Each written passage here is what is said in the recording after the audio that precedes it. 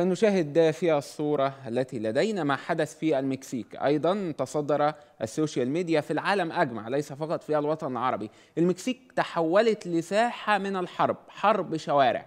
بعد إلقاء القبض من قبل الجيش المكسيكي على جوزمان وهو أحد مديري كبرى العصابات فيما يتعلق بتجارة المخدرات داخل المكسيك بعد طلب من الولايات المتحدة الأمريكية لنظيرتها. الدولة المكسيكية بضرورة إلقاء القبض على جوزمان نجل إلي تشابو إمبراطور المخدرات في المكسيك.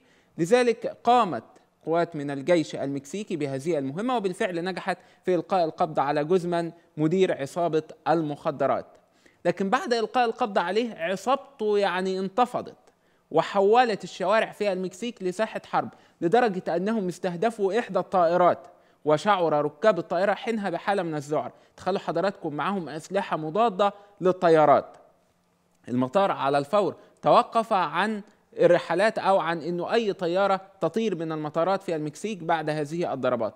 اللافت للنظر أيضا بأنه توفي في هذه الأحداث حتى الآن 29 شخص.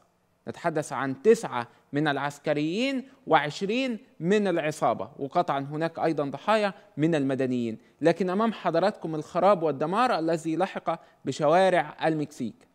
تخيلوا حضراتكم الولايات المتحدة الأمريكية أعلنت عن مكافأة مالية قدرها 5 مليون دولار لمن يرشد من أجل إلقاء القبض على جوزمان نجل إليتشابو إمبراطور المخدرات الراحل.